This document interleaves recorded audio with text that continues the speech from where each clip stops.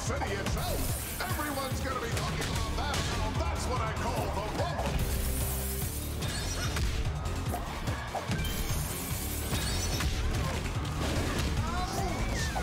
Looks like that's one more.